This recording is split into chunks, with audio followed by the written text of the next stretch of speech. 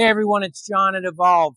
Hey, we're here again to take a look at some of the structural differences between the Model 3 Highland and in this case a Gen 2 Model 3. Gen 2, Gen 1 very similar except for some cosmetic differences. So let's take a quick peek now. These are sort of mirror image here. Um, both have now been disassembled and are kind of getting ready to go through our process. So we'll take some close-ups here of a few things, but all in all, when we look at the inner structure of the vehicle, there's really not that many differences. If we look here at, at our apron and our apron panel, pretty much identical. Our shock tower and our shock tower, pretty much identical. The thermal management system and how it mounts versus the, the Gen 2 car, very, very similar. If we look closely, and we have to look pretty closely to see some of the differences, most of them are sort of from here up. So the first thing that we can see is the front fascia, the impact beam and the absorbing foam are both are different on these two models. So you can see some of the differences in the two. Also, what they call the ankle catcher is now some sort of reinforced plastic, the component below versus the original style of uh, extruded aluminum. So there's a difference here. This appears to maybe be a little shorter uh, in length than the old. The crush cans that hold that seem to be the same, but as we look at the the uh, crush cans here and here, we can see a difference. These have bolts that come up through the bottom versus these go down through the top. And there's a funny little angle cut off right here. I believe that these are different crush cans.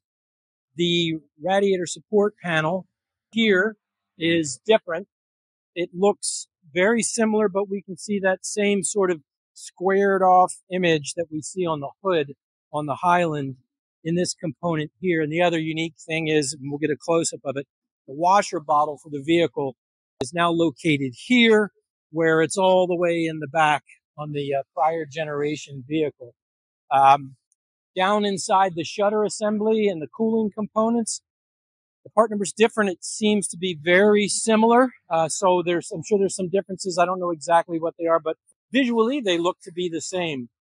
Uh, one of the most important things I've noticed here between the two, and we can see with the hood up on both of these, the original Model 3 has a problem bending right here. There's what are called collision dams built into the design of the hood. So when they're hit in a, in the front, they'll bend in a specific place very often with minor impacts in the past, we have seen damage to the inside of this hood, which leaves it not fitting properly.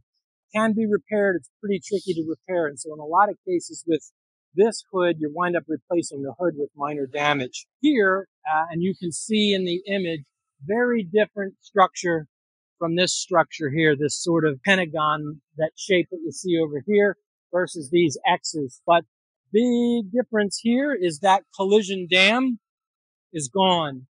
So it's reinforced. Uh, I can see some spot welds underneath. So it's going to be much stronger in the hinge area. And they've added some collision dams forward of the old location, whereas here they don't have them. So that seems to be a super smart thing. It's probably going to bring the cost of collision down substantially on these because these hoods won't fold like they used to. So, uh, that's what we know about the Highland Model 3 structurally. It's very similar. And uh, as we go further through this process, we'll continue to update you on what we find with the uh, Model 3 Highland. But uh, so far, so good. And hey, thanks for watching, and we'll keep you updated. Any questions on anything, please, again, always leave them in the comments below, and we'll answer those on our monthly podcast. Thanks again.